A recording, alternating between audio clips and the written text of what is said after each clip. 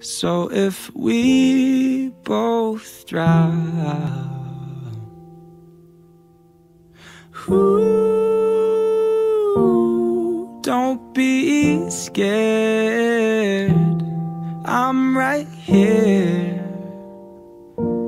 And what is fair when no one knows